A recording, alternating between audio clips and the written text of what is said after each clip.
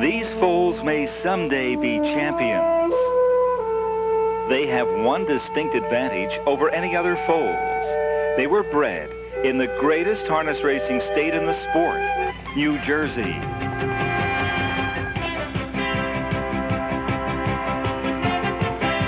New Jersey breeds winners.